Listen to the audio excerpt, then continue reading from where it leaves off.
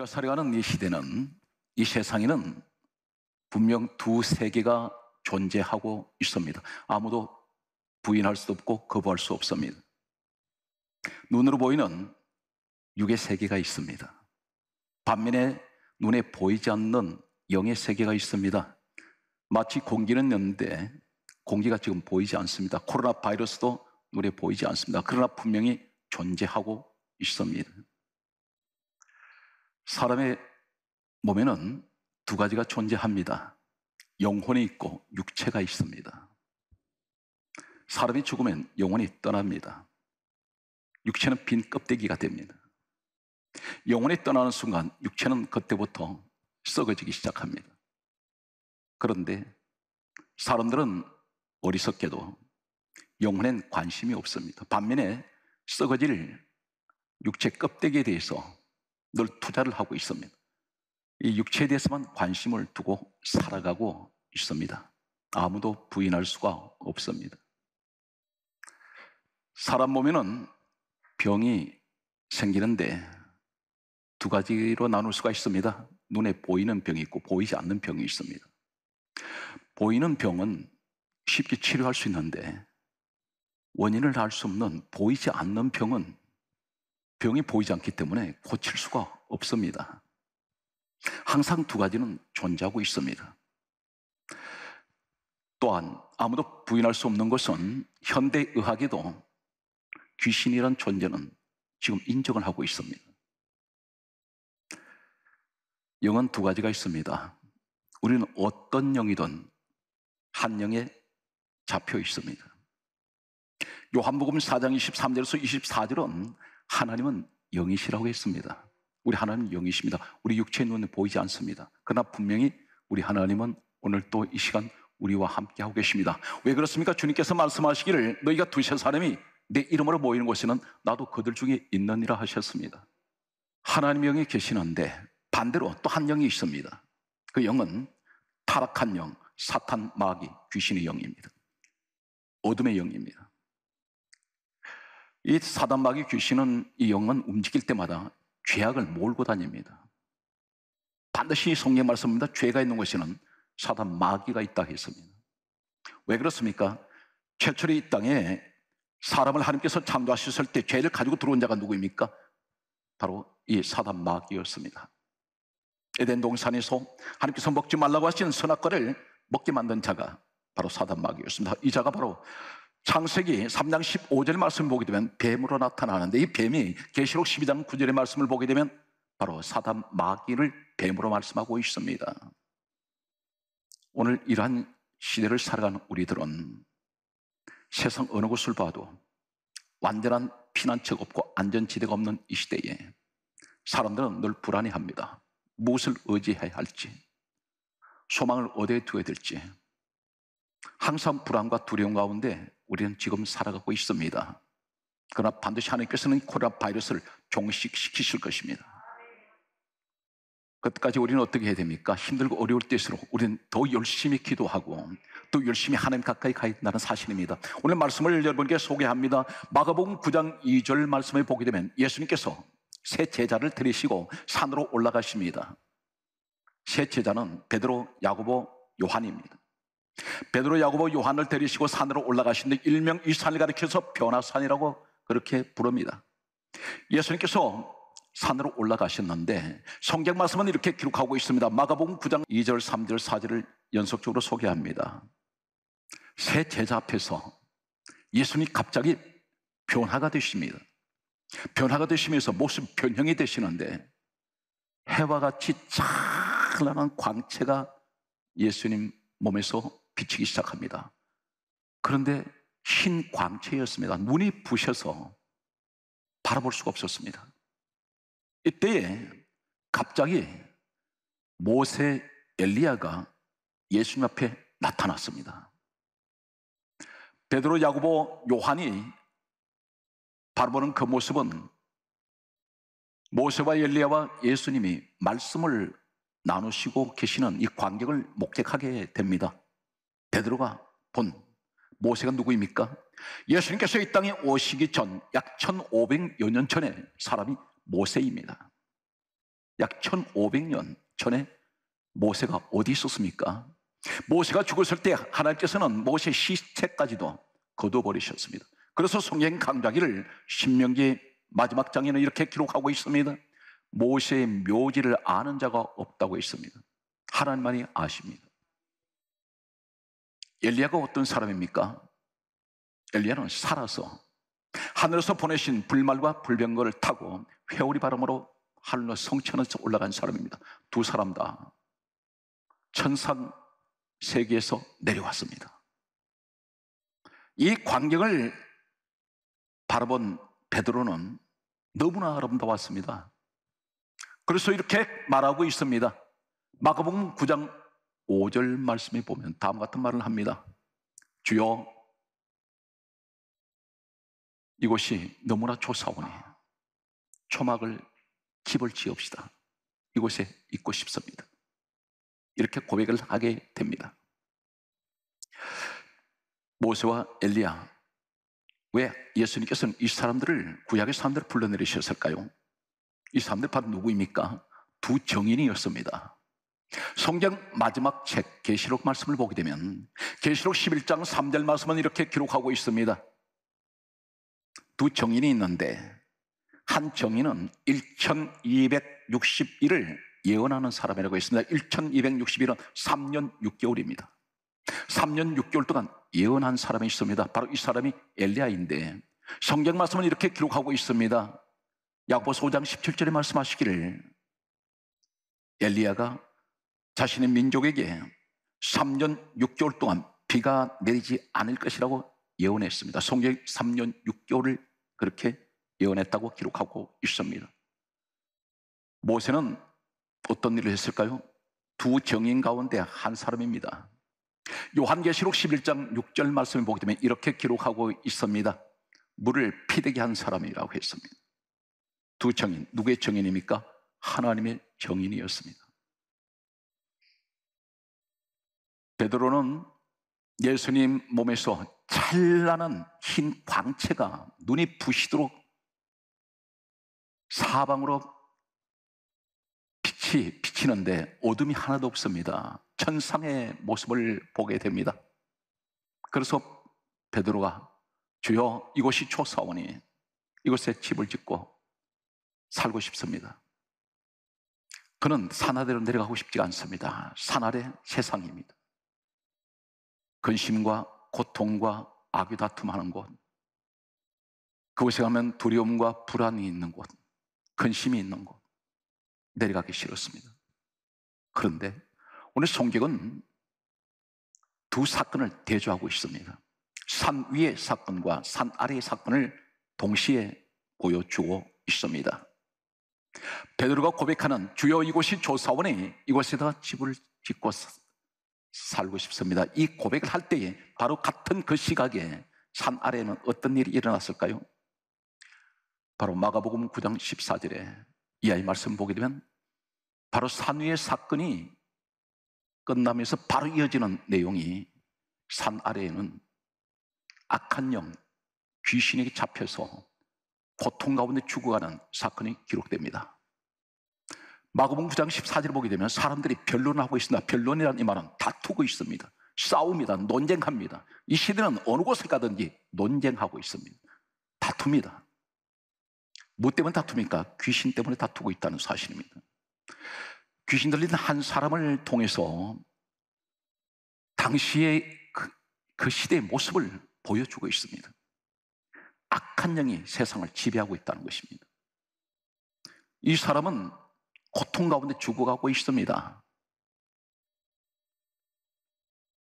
말씀드렸습니다. 사탄 마귀는 같은 무리입니다. 귀신들과 악의 무리들인데 이 무리들이 움직일 때마다 반드시 죄를 몰고 다니고 사람에게 고통을 줍니다.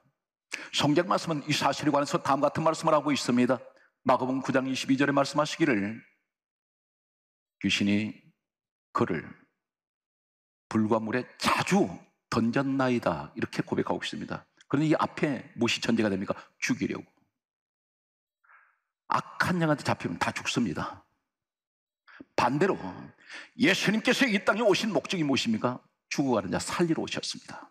대신 그분이 죽으신 이유가 뭡니까? 우리 같은 죄인 살리시려고 죽으셨는데 악한 영은 절대 그렇지 않습니다. 사단의 목적은 죽이는 것입니다.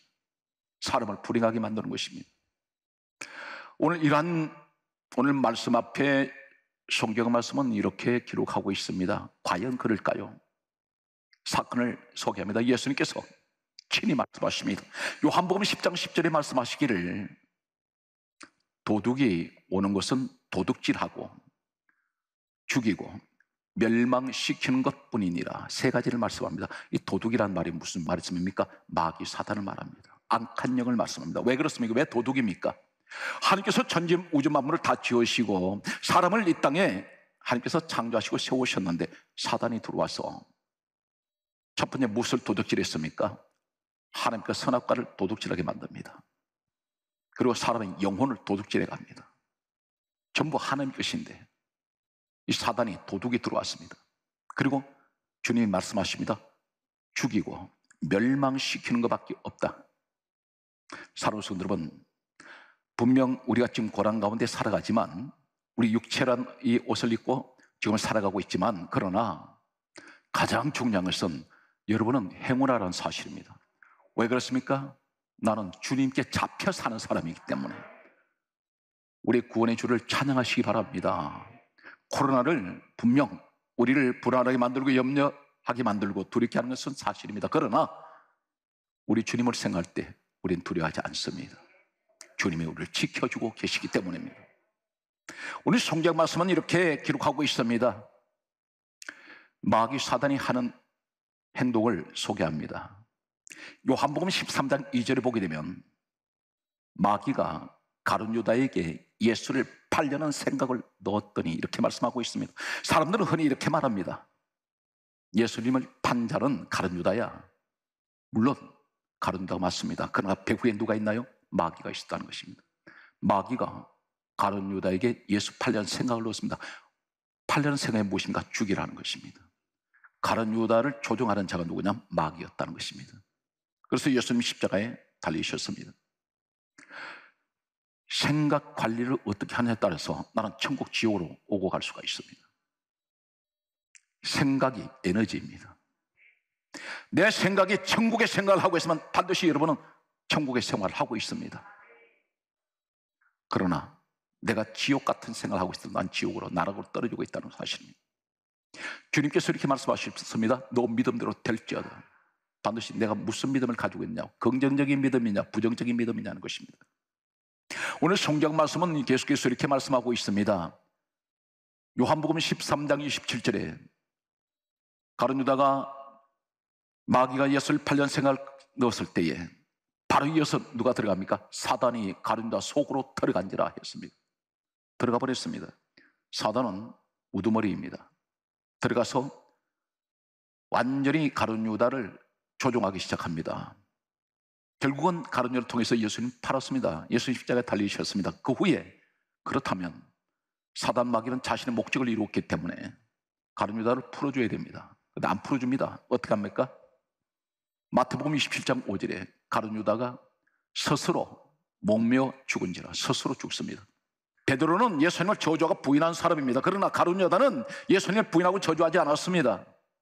그런데 죄의 질을 따지는 베드로가 또 죄가 무겁습니다. 그런데 어떻게 해서 베드로가 그 후에 수제자가 되었을까요? 우리는 날마다 넘어집니다. 아무리 기도를 하면서 주여 내가 다시는 하나님 앞에 이 죄를 짓지 않겠습니다 하는데 또 돌아서서 우리가 죄의 본성은 이것이 뿌리가 빠지지 않아서 선뿌리가 그대로 남아 있어서 또 죄를 짓습니다. 가룟 유다는 후회했습니다. 그러나 그런 진정한 회개는 아니었습니다. 진정한 회개가 어떤 것인가요? 베드로는 예수님을 부인하고 저주하고 난 후에 그런 심한 통곡을 하면서 회개했습니다. 그리고 다시 따라갑니다. 가룟유다는 따라가지 않습니다. 이 차이점입니다. 우리는 날마다 넘어집니다. 우리는 연약합니다. 날마다 실패합니다. 그러면서 우리는 또다시 일어나서 주님을 따라가야 합니다. 오늘 성경 말씀에 가룟다가 자살하고 사단 마귀에 잡혀서 죽고 났을 때 성경 말씀은 또 이렇게 기록하고 있습니다. 마가복음 5장 5절 말씀을 보게 되면 한 귀신 잡힌 이게 잡힌 사람이 있습니다. 귀신 들린 사람이 돌로 제 몸을 해치고 있더라. 자해하고 있습니다. 사람 손으로는 영적인 우리가 진단을 한다면 이 자해하는 것 반드시 악한 영이 나를 자해하게 한다는 것입니다.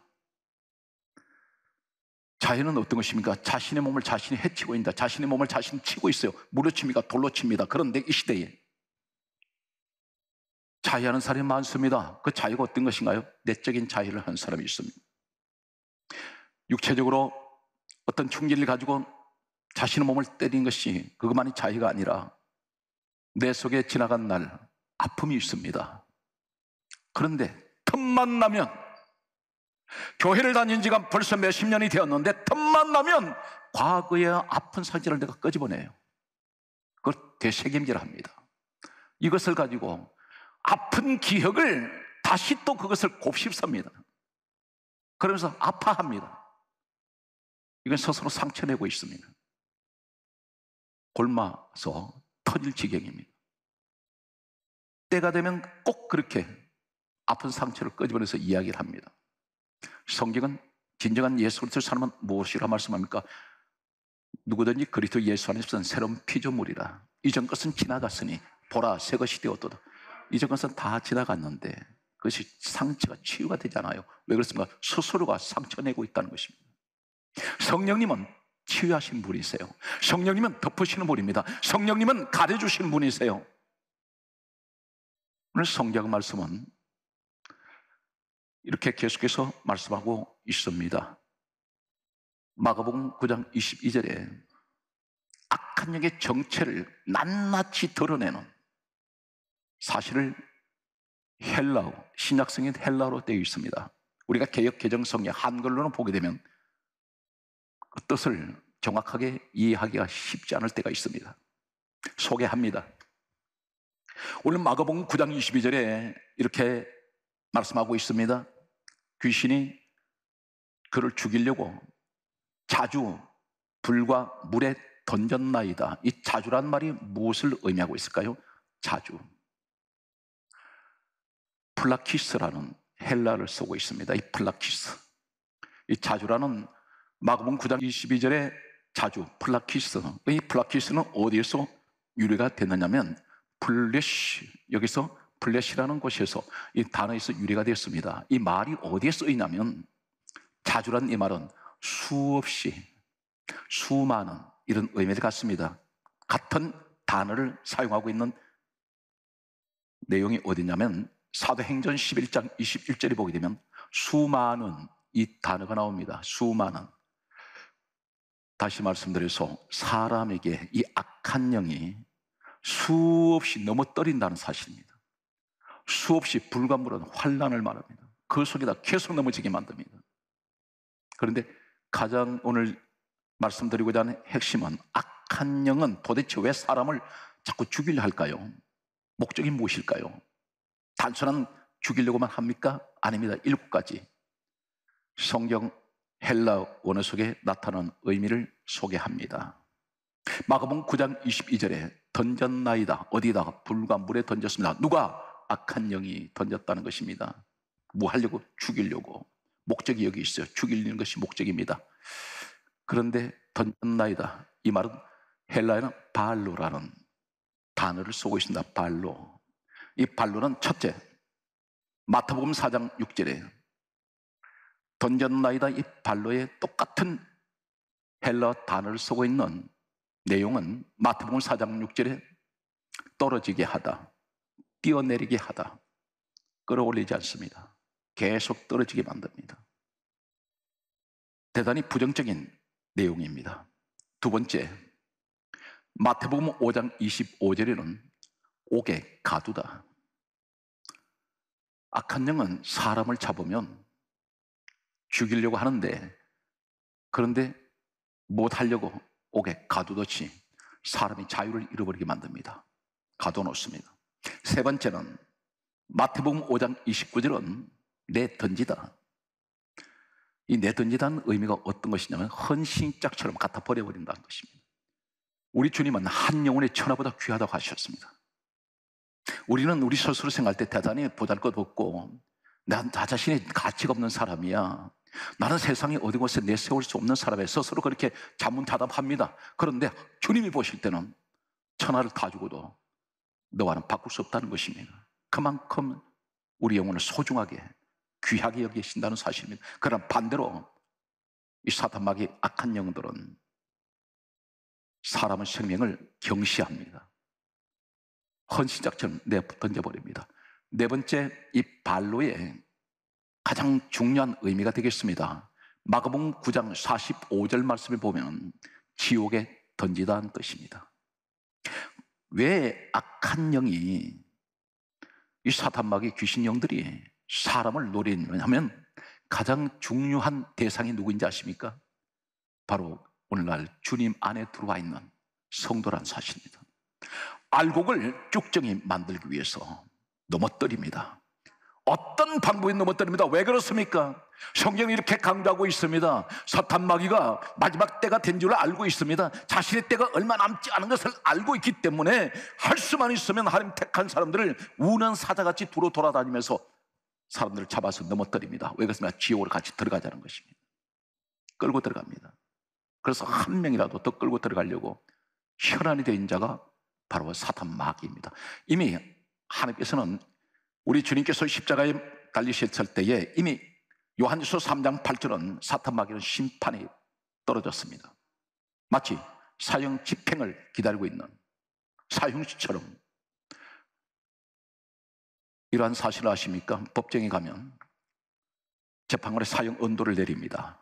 근데 사형 언도를 내는데 어떤 사형수는 때로는 한 달 후에 아니면 1년 후에 때로는 20년이 가서 사형 집행하는 사람이 있습니다. 마치 사탄 마귀는 사형 언도가 떨어진 자입니다. 언제 집행이 되느냐? 이제 우리 하나님께서 반드시 사탄 마귀를 이제 집행하셔서 무지갱 속으로 들어가게 만듭니다. 사탄 마귀는 자기 때가 얼마 남지 않은 줄 알고 있습니다. 그러므로 주님 말씀하셨습니다. 때가 가까우느니라. 시험에 들지 않도록 깨어서 기도해라. 다섯 번째는 요한복음 3장 24절에 다음 같은 말씀하고 있습니다. 옥에 갇히다. 이것이 발로입니다. 계속해서 옥에 갇히게 만들고 가두고 있습니다. 여섯 번째는 어떤 것을 말씀하고 있습니까? 요한계시록 2장 24절에 말씀하시기를 짐을 지우다. 사람에게 계속해서 고통의 짐을 지웁니다. 그런데 우리 주님은 반대로 뭐라고 말씀하셨습니까? 수고하고 무거운 짐진 자들아 다 내게로 오라. 내가 너희를 쉬게 하리라. 우리 주님은 우리의 무거운 짐을 다 벗겨주시기 위해서 오셨는데 악한 마귀는 짐을 치우고 있다는 것입니다. 일곱 번째는 계시록 6장 13절은 흔들리다. 무엇을 말씀합니까? 신앙생활 잘하는 사람들을 흔들어댑니다. 신앙이 흔들립니다. 지금 이 시대가 가장 큰 위기입니다. 장기간 계속되는 코로나 바이러스로 인해서 성도의 신앙이 여기저기서 다 흔들리고 있습니다. 기도도 거쳐지고 믿음도 점점 떨어지고 예배 생활은 제대로 정상적으로 이루어지지 않기 때문에 그것이 누구 탓입니까? 자신의 잘못이고 자신의 탓이기 전에 코로나 바이러스가 우리를 그렇게 지금 만들고 있습니다. 이런 때 우리는 어떤 일에서도 예수 안에서 흔들리면 안 됩니다. 우리 성경 말씀은 이렇게 기록하고 있습니다. 그러므로 우리가 어떻게 해야 되겠습니까? 이 위기를 만난 이때에. 예수님께서 산에서 내려오셨습니다. 내려오셔서 그 광경을 보셨습니다. 제자들과 사람들은 싸우고 있습니다. 논쟁하고 있습니다. 그 시대 상황을 말씀하고 있는 것입니다. 그런데 이 귀신이 순식간에 쫓겨나가 버립니다. 언제 쫓겨날까요? 마가복음 9장 20절에 보게 되면 성경이 이렇게 강조합니다. 귀신이 예수를 보고 보고 예수님 앞에 귀신 들린 자가 와서 섰습니다. 귀신이 자지러집니다. 얼마나 이 귀신이 무서운지 사람 속에 들어있던 악한 영이 요동을 치기 시작합니다. 그런데 주님 말씀 한마디에 순식간에 쫓겨나가서 도망가 버립니다. 우리는 지금 어디에 서야 됩니까? 주님 앞에 서셔야 됩니다. 그러면 악한 영은 오지 못합니다. 성도 여러분, 나는 지금 누구 앞에 서 계십니까? 세상을 바라보고 있지 마십시오. 주님 앞에 서시기 바랍니다. 주님께서 우리에게 내가 진정으로 주님 앞에 서 있다면 성경 말씀은 이렇게 기록하고 있습니다. 에베소서 3장 17절에 그리스도께서 너희 마음에 계시게 하라. 어떻게 계신 것을 확신할 수 있을까요? 믿음으로 고백합니다. 나는 주님을 모시고 있습니다. 주님, 나 같은 죄인을 주님께서 구원해 주셨고 십자가에 나 대신 못 박혀 그 고난 처참한 고난을 당하시며 설신 그 피로 요한일서 1장 7절에 나는 예수 피로 제 삶을 받았습니다. 깨끗함을 받았습니다. 그러므로 요한복음 3장 12절에 나는 하나님의 자녀가 되고 있습니다. 이 믿음을 가지십시오. 믿음의 확신을 가지시기 바랍니다. 그리고 기도하셔야 됩니다. 성경 말씀은 이렇게 마지막 말씀의 결론이 되겠습니다. 제자들이 예수님께 여쭈었습니다. 오늘 성경 본문 말씀은 이렇게 기록하고 있습니다. 마가복음 9장 28절에 주여 우리가 어찌하여 우리는 귀신을 쫓아내지 못합니까? 이렇게 반문했습니다. 그때 예수님께서 오늘 마지막 결론에 답을 주십니다. 마가복음 9장 29절 하시는 말씀이 기도 외에는 다른 것으로는 이런 종류가 나갈 수 없느니라. 두 가지를 기억하시기 바랍니다. 주님 만나세요. 주님을 영접하세요. 그리고 내 마음에 이 믿음으로 주님을 내 마음에 모시고 우린 그 믿음의 확신 가지고 기도하는 것입니다. 그럼 반드시 송이에 말씀합니다. 내 믿음대로 될지어다. 믿고 구하는 것은 받은 줄로 믿으라 했습니다. 용기를 내시기 바랍니다. 절대 기죽지 마시고 절대 나태하지 말고 힘들고 어려운 자리에서 더 용기를 일어나야 합니다. 하나님께서는 반드시 우리 손을 붙들고 계십니다. 사랑하는 성도 여러분, 여러분 특별한 하나님의 은혜를 입고 살아가는 비록 이 땅에서 우리가 환경이 힘들고 어려운 가운데 있지만 우리는 분명 하나님 자녀이고 이 땅을 떠나는 순간 우리는 저 천국으로 갈 것입니다. 그러므로 영원한 그 세계 하나님께서는 우리를 기다리고 계시는 그 세계 가기까지 우리 이 땅에서 늘 마음도 건강하고 힘든 환경에서도 웃으며 늘 자신만만한 세상에 불어하는 진정한 그리스도인이 되시기를 주의 수 이름으로 축복합니다.